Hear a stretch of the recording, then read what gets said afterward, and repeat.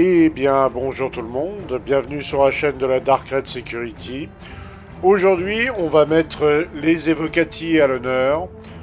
Et oui, c'est bénévoles, ces joueurs bénévoles qui donnent de leur temps pour tester euh, les premières heures des, des nouveaux patchs qui font des tests en interne et qui ont longtemps, longtemps, très longtemps été sous NDA, qui travaillent sur le, développement du jeu depuis quasiment le tout début. Voilà, ils ont des longues années de, développement derrière eux. Et bien aujourd'hui, on leur laisse la parole et c'est tant mieux, car ils ont enfin le droit de s'exprimer dans certains domaines. Pas dans tous, mais dans certains. Et donc, on va pouvoir profiter de leur ressenti, de ce qu'ils ont pu observer d'intéressant dans ces, dans ces tout premières versions de, des nouveaux patchs et nous faire partager les choses intéressantes qu'ils ont observées.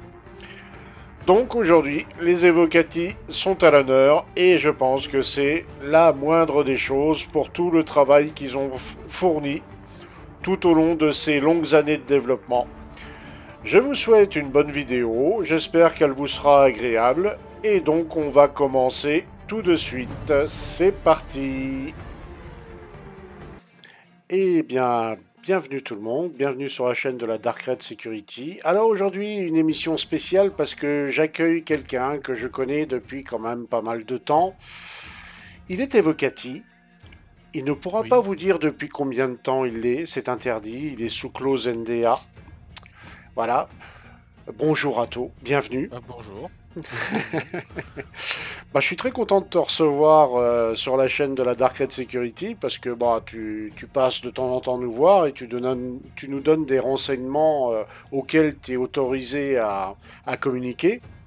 Euh, c'est un boulot qui est quand même compliqué d'être évocatif, c'est pas toujours plaisant, parfois c'est plaisant, enfin il y a le pour et le contre, non? Ouais, je sais pas si j'irais dire euh, plaisant tout le temps, mais bon, euh, Oui. c'est. Non, après, bon, faut- enfin, c'est. c'est- Faut le faire avec plaisir, quoi, c'est surtout ça. Oui, dans le but d'aider euh, CIJ à développer le jeu en fait. C'est ça. Ouais. Euh, ça fait longtemps que tu connais le projet euh, Star Citizen, Atto Euh, moi, le projet C, je l'ai connu via un ami euh, depuis 2014. Donc, la fameuse époque où les gens ils étaient encore dans leur garde de souvenirs. Je m'étais Oui. inscrit sur le site. Donc, euh, ouais, c'est plus ou moins la période où j'ai connu le jeu, quoi. Après, bon, je me suis vraiment intéressé à partir de, deux- de la 2.6 et 3.0, quoi. D'accord. D'accord. Et t'as commencé à jouer, euh, je crois qu'on avait dit à peu près à la même époque, 3-6, quelque chose comme ça? Non, non, là, moi j'ai commencé à jouer exactement. C'était en janvier 2018, donc euh, bah, dès le lancement de la 3.0, quoi. Ah, le lancement de la sortie PTU. 3.0. Ah, d'accord. Ouais. D'accord. Ok. Euh, on peut donner plus ou moins ta configuration de PC Euh, L'actuel, oui, oui, il n'y a pas de. Oui, si tu peux la communiquer pour que les gens ils se fassent une idée. Là, actuellement, moi je suis sur une RTX 3080, donc les anciennes à 10 Go de VRAM. Je suis sur euh, de la DDR4 encore, donc je suis entre- en 32 Go de RAM. J'ai un Ryzen 7 euh, 5800X 3D de souvenir. Oui, Mhm. c'est ça. Après le reste, bon, c'est. Oui, c'est ce qu'on trouve habituellement. voilà, euh, voilà. Oui, c'est pour donner une idée aux gens. Euh, récemment, tu as dû certainement faire le, la- le nouveau patch 3.23. Quels sont tes ressentis par rapport au patch 3.23? Là, pour le moment, euh, bon, f- euh, il manque plein de choses, quoi. Oui, On va dire qu'on a eu les premières itérations euh, 3.23 de ce que j'ai vu. oui, Mais euh, ouais, la première impression, c'est que de toute façon, il manque beaucoup de choses. Il est instable. Ça, Il bon, instable. on, on avait été prévenu. Mais c'est. On a quelques petits ajouts déjà pour se faire des idées, mais euh, moi perso, ma, ma première impression, c'est que bah, déjà, c'est, enfin, on est plutôt content parce qu'il y a le RL qui fonctionne, Oui. on va dire. Et puis la première, ouais, comme, euh, enfin, je sais pas. Le, par exemple, en parlant du RL, donc le Replication Layer, il faut combien de temps de récupération à partir du moment où le serveur plante? Moi, de ce que j'ai vu, Alors après, on a, on a des ressentis, je pense, un peu différents les uns les autres, mais moi, pour mon cas perso, euh, ça met à peu près 2-3 minutes. Ça met une moyenne de minutes. 3, 3 minutes euh, généralement. De ce que Ouais. j'ai vu. Donc en vrai, c'est assez rapide, ça va. Est-ce que d'une manière générale, chez les Evocati, euh, les gens sont plutôt euh, contents de ce qu'ils voient ou ils sont un peu plus inquiets? En général, hein, je parle de... Parce que toi, tu, tu dois entendre parler les Evocati entre eux. Qu'est-ce qui se dit un peu au niveau, au niveau des Evocati en général? Ah, ça, ça c'est pareil, je peux pas vraiment Ah, d'accord. des- Il n'y a pas de souci, il a pas de souci. euh, NDA, je comprends tout non, à non, fait. mais je peux pas vraiment dire ce que les autres euh, re- enfin, ressentent, on va dire, ou de ce qui se passe, mais moi, pour mon cas perso, où j'ai le droit d'en parler, mon ressenti aussi, Mhm. je, je suis pas vraiment inquiet, juste ouais, il y a encore énormément de boulot et on sent qu'il y a on sent qu'il y a un travail de fait parce qu'il y a énormément de nouvelles interfaces, etc. Donc on sent que le jeu fait beaucoup plus moderne, quoi. Oui. Mais ouais, le ressenti, c'est c'est qu'il y a encore vraiment du taf, quoi. Ah bah tiens, en parlant de ça, tu nous parlais de la crosshair, là, euh, tu disais ça fait bizarre quand on voit le gun recharger, voir partir la, euh, la croix en hauteur, c'était Ouais. un peu... ça fait très bizarre. Il y a d'autres choses comme ça que tu as remarqué euh, dans ce patch qui étaient un peu bizarres ou qui étaient su- plutôt sympas Non, bah après les choses étranges, c'est euh... bon, ça je peux le dire aussi parce que bon, bah après c'est pas fini, donc euh, du moins Mhm. c'était pas en- vu que vous avez les patchs publics, euh, c'était pas en focus test le le master mode, mais un truc bizarre, c'est comme quand, quand, par exemple tu passes en, en système de vol, la vitesse de croisière que j'appelle ça. Mhm. Euh, Moi, ce qui me perturbe, c'est que ouais, il y a, il y a encore le fait que quand tu déclenches ça, t'as tout le temps le quantum d'activer là. C'est, mais bon, c'est pas Ah. fini donc. euh, Ouais, il y a toujours ce y a ça souci qui me perturbe quantum. un peu. Ouais, Ouais. Sinon, ouais, moi, ce qui me perturbe vraiment, c'est le dynamique euh, crosshair. J'ai un peu de mal, mais ouais. Toi, tu serais plutôt pour le l'enlever, quoi. moi, plus, plus en, en fixe, parce que normalement, t'as la possibilité de le mettre en fixe. J'ai pas essayé, mais Ah, tu peux le mettre en le faire. fixe. Ah, d'accord. normalement, tu peux le off, le mettre en fixe et en dynamique. Et euh, j'ai pas essayé encore. D'accord. Euh, une, question que je, une question que je t'avais jamais posée, t'as pu t'attarder sur les nouveaux prix, euh, l'économie du jeu? Euh, Est-ce qu'on va être euh, mangé plus cher ou c'est ça se vaut dans les prix actuels? Oh non, j'ai pas, euh, j'ai pas eu le temps de. Ah, d'accord. Du moins, j'ai- fait des achats consciemment, mais j'ai pas vraiment eu le temps de de voir ce qui se passait sur les prix. Alors, toujours en parlant de la 323, Atto, est-ce que tu as constaté des améliorations au niveau des performances joueurs et serveurs?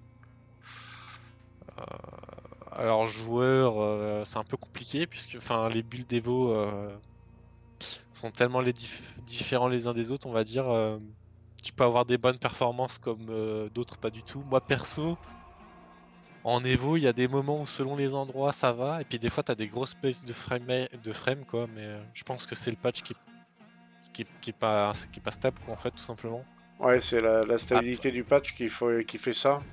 Ouais, donc euh, honnêtement, je peux pas vraiment me rendre compte euh, de si ça va mieux ou pas. Après, en, en FPS serveur, ben, vu qu'on est peu, Oui. euh, pff, moi sur le build actuel, on était vers les 20 frames serveur continuellement, mais bon, vu que c'est vu que les patchs sont instables et qu'ils laissent 3 4 enfin 4 heures de gameplay généralement, t'as pas vraiment le temps de voir le serveur descendre quoi. D'accord. Mais moi ouais, Euh. c'était ça une moyenne de 20 frames serveur, mais c'est pas c'est pas représentatif quoi. D'accord. Euh, tu nous avais parlé qu'il y avait eu de un bon nombre de nouveaux évocati. Est-ce que tu peux communiquer les chiffres euh, au total, le nombre d'évocati, puis combien de nouveaux vous ont rejoint? Euh, je pense que. Bon, après, ça, à mon avis, tout le monde peut plus ou moins le voir, mais euh, je pense qu'ils ont fait une, une vague de. Je pense qu'on est bien 500 nouveaux en vrai, hein, à Ouais. mon avis. Et tu m'avais souligné pas mal de, pas mal de francophones. Ouais, j'ai l'impression qu'il y a pas mal de. Bon, après, quand tu regardes les autres environnements, que ce soit les réseaux, euh, Twitch, etc., a- j'ai l'impression qu'on est beaucoup de FR, ouais. Ah, d'accord. Ah, c'est Euh, curieux. Moins, ça ouais. donne cette impression-là? D'accord. Euh, c'est peut-être le fruit du hasard, mais. autrement, au niveau de la 323, est-ce que au niveau, euh, on va dire, euh, beauté du jeu, il y a une amélioration? Est-ce que c'est les graphismes sont plus soignés Est-ce qu'il faut plutôt utiliser de l'upscaling ou des choses comme ça? Pour, un... pour une amélioration visuelle là, tu veux dire? Mhm. Ouais, Bon, l'upscaling, euh, on va dire que c'est un peu cassé, donc euh, enfin du moins c'est pareil, c'est pas fini. ouais, c'est pas Parce fini. que le l'upscaling, il te donne l'impression que... euh, Alors moi perso, j'avais essayé le FSR, c'est bien Oui. cassé. Oui, Et le FSR, ça, c'est pas vraiment joli parce que ça te donne un effet de flou, donc moi perso, j'ai pas aimé. ouais, Après, j'avais mis le, le TSR de chez, de chez CLG, j'ai l'impression que c'est celui qui fait. euh, le meilleur taf? Ouais. Alors, c'est moins beau que ta résolution native, hein, mais c'est quand même celui qui donne le meilleur effet, je trouve. Après, en termes de gain, euh, c'est dommage pour de l'upscaling parce que j'ai moins de perf que si j'étais en native, mais c'est pareil. Il me semble que c'est pas en focus test, donc euh, D'accord, oui, c'est que c'est pas fini, quoi. Ouais, ils l'ont pas, ils ont pas fait le focus dessus, ouais. Ouais. Euh, qu'est-ce qui, qu'est-ce qui, euh, dans le jeu là, qu'est-ce qui bloque beaucoup en ce moment? Là, je dirais ce qui, ce qui bloque le plus sur le, le build actuel, c'est euh, en fait c'est qu'on a des builds. euh, T'as l'impression de rentrer dans des boucles intemporelles de RL, quoi. C'est ça le pire. Ah, C'est c'est vraiment tu rentres sur un serveur, oui, tu sais pas vraiment pourquoi, mais d'un coup euh, le RL va s'enclencher puisque t'as une 30k. oui, Et en fait, il va faire que ça, RL, RL, RL, RL, il va tourner en boucle et du coup, ça te laisse tellement peu de temps pour faire tests parce que tu passes énormément de temps à rien faire et à attendre qu'un serveur revienne. ah, Donc je dirais que c'est ça le plus bloquant et, euh, et puis les, ouais, les crash clients, quoi, on en a beaucoup là sur le, le build actuel. Enfin, moi, ça a été le ressenti en tout cas. donc on parle bien de la 323, hein. Ouais. Ouais, Pour le moment, c'est très très très instable. d'accord. Alors, il y a certainement un autre patch que tu as dû tester en, en Evocati, c'est certainement celui de, on va dire, du serveur meshing, du test qu'ils ont fait ce week-end. Qu'est-ce que tu en retiens, toi? Hmm, Ce que je retiens, c'est que moi, je trouve que c'est plutôt bon signe en vrai, on va dire. C'est quand t'arrives dessus, on va dire, et que t'arrives à te connecter, ça se passe plutôt bien. Ouais, Après, j'ai vu qu'ils ont, bon, on l'a tous vu, hein, ils ont fait, ils ont essayé de faire des tests à 800 joueurs. ouais, Donc là, bah, ça s'est pas passé bien bien du tout.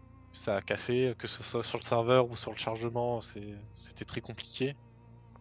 Ça, ça donne l'impression que hum, t'as un slot limite quoi. Une fois que quand ils font des tests à 400 joueurs, t'as l'impression que ça se passe plus ou moins bien. Et une fois qu'ils dépassent les 400, euh, c'est le bordel. Ah, Ça donne ça. Mais euh, nous perso, j'ai réussi à me connecter euh, avec euh, d'autres gens. Et euh, ben, je peux dire en tout cas que la démo qu'ils ont montré à la CitizenCon où euh, les mecs sont sur une autorité A et les autres sur une autorité B qui se tirent dessus, euh, ça fonctionne en tout cas. ça fonctionne Ouais. Alors, apparemment, ça n'a pas marché avec tout le monde. Il y en a certains qui ont eu des problèmes à ce niveau-là. Je sais pas si tu en as entendu parler.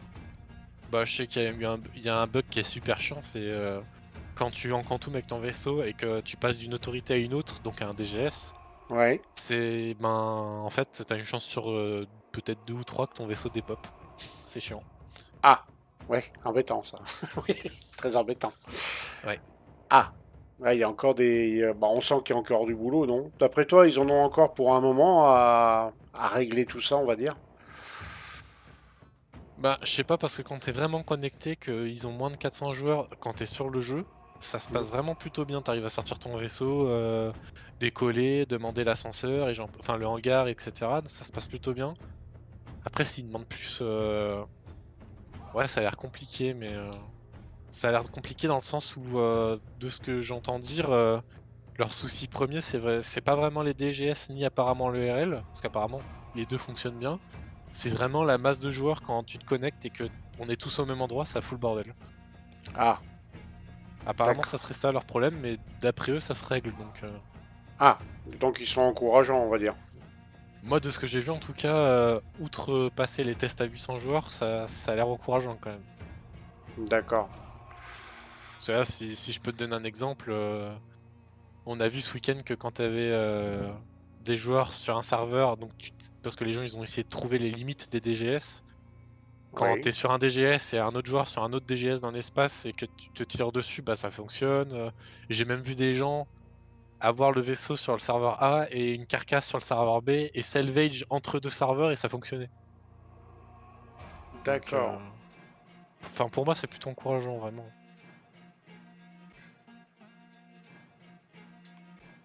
Bon. Donc, toi, le ressenti, pour l'instant, il est plutôt bon, quoi. Ouais, pour moi, euh, je trouve que c'est assez positif malgré tout. Après, bon, bah voilà, il y a encore du boulot, mais. D'accord. Ouais, ça, c'est un avis positif. Ouais. Oui, parce qu'il y avait quelques gens qui s'inquiétaient un peu à ce sujet-là. Ils disaient Oula, c'est pas prêt, on l'aura pas pour le pour l'été, euh, parce que beaucoup pensaient l'avoir pour le début d'été, le serveur meshing. Tu crois que ça peut arriver à cette période-là ou ça va peut-être prendre un peu de retard quand même? Après, après sortir live pour l'été avec Pyro, euh, ça me paraît un petit peu juste quand même. Après, peut-être l'avoir en PTU euh, pour des tests, mais. Euh, ouais. Ça me paraît un petit peu short pour une live quand même. Ah. Après, faut, faut se dire que la tech statique, c'est qu'une tech temporaire. Hein. Ils veulent pas rester à ça, donc. Ouais. Dans tous les cas, on risque d'avoir des problèmes qui vont rester. Hein. Ouais. Donc, à voir. Bah, c'est intéressant. C'est intéressant. Et euh, là, au niveau de, comment, du, test serveur meshing, alors certains disaient qu'il gagne en performance au niveau des joueurs euh, et aussi au niveau des, serveurs. C'est plus ou moins vrai?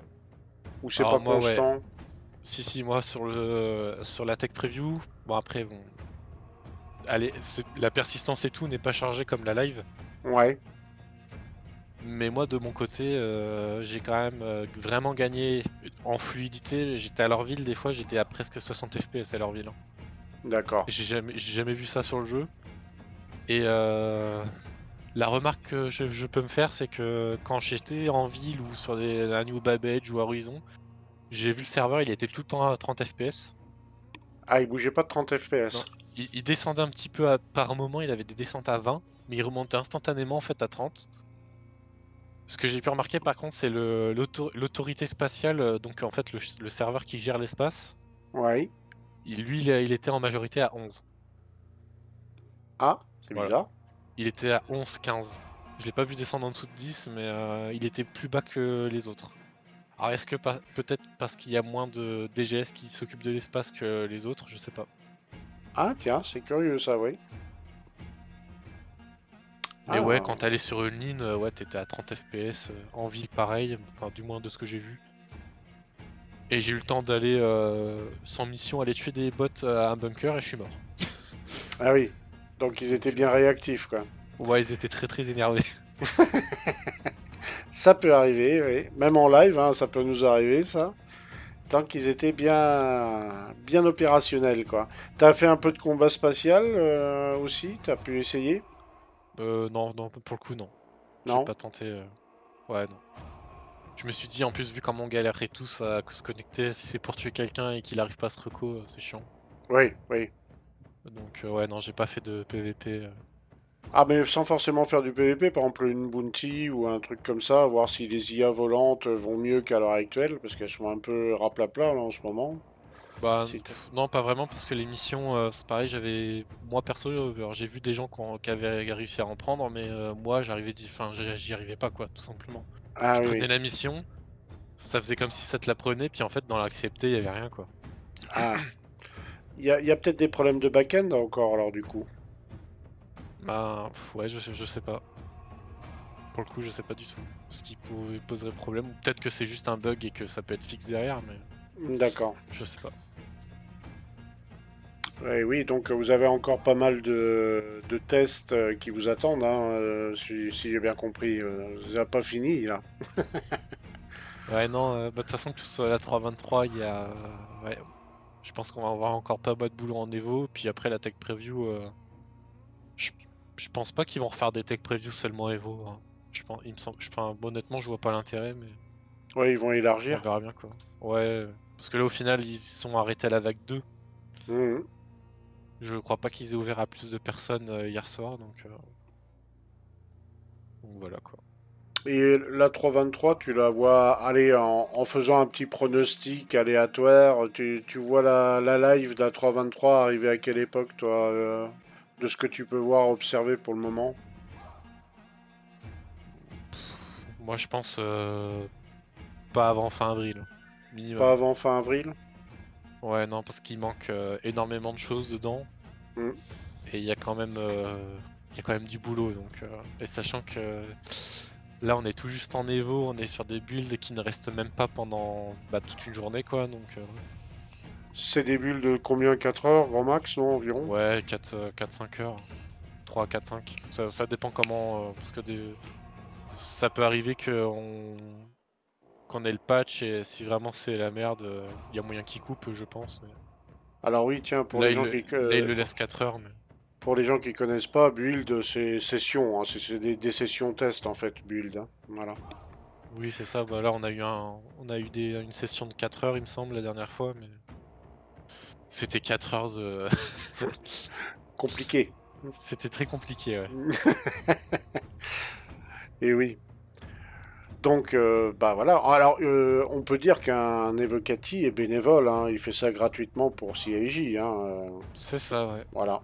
C'est donc Atto. euh, Atto est un bénévole qui aide au projet Star Citizen, qui aide au développement. On peut dire aussi quelque part un petit peu cobaye. Ouais, hein, c'est un peu. C'est un peu ça. hein. Ouais, c'est un peu ça. Euh, des petites questions là concernant euh, la vie d'Evocati. Alors bien sûr, tu, tu réponds pas si voilà. Euh, Ouais, est-ce que est-ce que CIJ, en règle générale, quand vous faites un rapport de bug ou faites une petite remarque, est-ce qu'il le note ou il vous explique oui tiens on va en tenir compte ou bah non pas pour le moment. comment ils réagissent quand vous faites des remarques sur un nouveau patch en général? Bah, bah, de toute façon, après, on reporte des bugs, donc euh, on passe par issue council euh, comme vous, quoi. Ouais, En quelque sorte, euh, c'est juste qu'on a un truc spécialisé et qu'on n'a pas le droit de montrer, bien sûr, bien sûr. Mais sinon, euh, après, voilà, on, on discute avec eux. Et... Mais il y a, y a un échange entre vous et les développeurs, je veux dire. Et Ah oui, des, oui, fois, oui. des fois, ils tiennent compte de ce que vous dites quand même. Ah oui, oui, oui, forcément, oui. Mais pas tout le temps, ou si quand même, dans les Si, grandes euh, ma- la majorité du temps, quand même, ils ont écouté, donc euh, ça va. Ouais. Bon, bah, c'est le principal. C'est de, de- euh, Vraiment, t'as le sentiment d'être utile, quoi. Oui, oui, quand même, malgré tout. euh. Après, bon, voilà, c'est un peu tabou parce que bon, forcément, je peux rien dire sur ces choses-là, mais... Oui, oui, mais ouais, non, ça va. d'accord. Bon. Ouais, parce que je pense que ça intéresse un peu les, les gens qui vont regarder la vidéo, de voir un peu euh, les petits, les petits à côté, sans trop, trop en dire, bien sûr. Je comprends bien ta situation. Elle est pas... faut que tu réfléchisses à tout ce que tu, à, tout, à toutes tes réponses là, parce que ça peut, ça peut te mettre dans le caca, comme on dit. hein. Mais euh, oui. Bah, en tout cas, c'était, très sympa que tu répondes à, ces questions-là, parce que euh, est-ce que tu as envie de... Enfin, un truc auquel j'ai pas pensé, un truc, tu as envie de dire quelque chose de particulier concernant euh, tel ou tel patch ou euh, les evocati euh, Est-ce que tu as un, truc qui te vient en tête? Là, là, tout de suite, non, pas vraiment spécialement. Non Après, bon, euh, tout ce que je peux te dire, enfin, si, si, à la rigueur, tout ce que je peux dire, c'est que oui, on est, on est, en tant qu'Evo, on n'est pas forcé à jouer, Oui ou du moins tester. Ça, c'est le principal, et que, ouais, on nous, on, bah, on est encouragé à vraiment tester pour le plaisir, et voilà, quoi. Si on n'a pas envie de tester, bah, on teste pas, et, et on se connecte même pas si on le veut, c'est tout simplement. Ah, d'accord. Voilà, et sinon, sinon, à part ça, euh, il y a des choses que de toute façon je ne peux pas dire et on est- je, je suis sous NDA. Ah oui, oui, euh, oui. Bah, en tout cas, toi, moi, je suis très content que tu sois euh, dans l'émission parce que je tenais à mettre à, à l'honneur un Evocati et toi, comme toi, on se connaît quand même depuis quelques années. Bah, j'ai ouais, sauté sur l'occasion de mettre Monsieur Atto, Monsieur Famous aussi, Monsieur Taille Neuf. Ça, c'est un surnom qui t'a collé longtemps, ça, Monsieur Taille Neuf. Euh, ouais, pourtant, je comprends pas. hein, je- vraiment, je- Et quand, quand tu es en live, euh, quand es en live ou en PTU, tu, tu testes tout, toi. De, T'as tout testé, quoi, en gros. Bah, en Evo, euh, oui. Enfin, je m'amuse vraiment à tester euh, les focus tests. Après, en live, j'avoue que j'y vais vraiment pour me détendre et rigoler, quoi. Oui, oui, oui. Je m'amuse pas à tester les choses en live. Ouais, tu vas en défouloir, quoi. Mm. encore les phases PTU, souvent je fais les premières phases, mais après, bah je, me lasse vite et du coup j'attends la live quoi. Ouais, t'attends la live. Tu, te dégoûtes avant même de jouer à la live, c'est un peu dommage. Oui, oui, oui. C'est vrai. ouais, je procède comme ça plus ou moins. Bah en tout, cas, en tout cas, sache que je suis très content de te recevoir dans, cette nouvelle, euh, nouvelle émission que j'ai lancée. Je suis très content de, de t'avoir en vocal. Et puis je pense que c'était la moindre des choses de mettre les évocati à l'honneur pour tout le travail euh, que vous faites euh, pour certains depuis euh, de très très longues années. Moi je pense à, à ceux, aux évocati qui ont commencé au tout début. D'ailleurs il en reste, ils sont encore vivants. ouais si si, si si ça va. Ils, sont, ils, sont, solides quand même malgré tout. Oui. Il y a des vrais ultras du, du jeu quoi. oui, je pense qu'il y en a, ils sont là depuis longtemps. Ouais. Ils sont encore là. Eh ben, c'est génial. Enfin, je suis très content de t'avoir en, vocal comme ça et euh, bah, que tu puisses partager avec nous euh, ton, ressenti parce que bah, ça intrigue beaucoup de gens et c'est toujours intéressant d'avoir, on va dire, les, les, premiers, les premières heures d'un nouveau patch. On est toujours curieux de voir ce que ça donne. Mais je te remercie euh, beaucoup. Hein. Après, c'est euh, heureusement que CG a du moins un petit peu levé le oui, la oui. parce que sinon, ouais, c'est eh, eh malheureusement. oui. oui, Ça aurait été un peu compliqué. ils l'ont un peu levé, mais il en reste encore beaucoup, hein, quand même, hein, d'après ce que j'avais compris. Euh. Ouais, mais encore, ils le, ils le, stipulent encore maintenant par patch. Ils peuvent dire sur le patch si on a le droit de parler ou non sur ce qu'on voit ou, ou non. Ah oui, oui. Et oui. Peut-être qu'il y a des patchs où on n'aura toujours pas le droit en fait de parler, donc euh, je sais pas. Ah bah, je pense qu'à l'arrivée du serveur meshing dynamique, euh, oui, ça sera Motu chez Bouscousu. Hein. ouais, c'est je sais pas, c'est possible. Ouais, oui. Eh ben, en tout cas, merci à toi, Atto. Je te remercie beaucoup d'avoir donné un peu de ton temps libre pour euh, répondre à mes questions parfois indiscrètes. Il a pas de problème.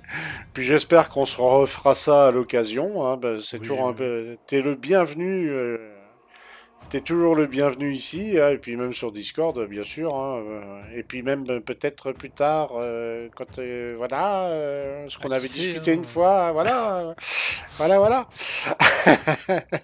en tout cas, messieurs dames, eh bien notre émission va se terminer. si on a des infos divulgables, intéressantes, eh bien, Atto nous le dira, ou il viendra vous l'expliquer ici directement en vocal dans l'émission. Je vous souhaite à tous eh bien, une bonne journée ou une bonne soirée. Et merci à tous. Et on se dit à la prochaine dans, dans Star Citizen. Ah, ciao, ciao, ciao, ciao tout le monde